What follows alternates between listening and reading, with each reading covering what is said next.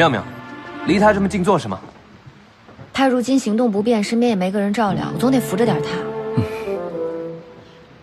行，你别担心那么多了啊，这种粗活儿交给我就好了。王爷，我扶你。哎，哎，哎怎么回事？来，怎么回事啊，宋三？无妨，三公子与我生了些口角，他不是故意的。宋三，他如今如此不便，你这是何必呢？真是卑鄙。